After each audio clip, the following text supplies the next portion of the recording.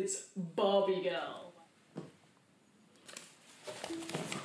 Alright, the inversion is basically which notes on the bottom, so I'm playing with which notes on the bottom.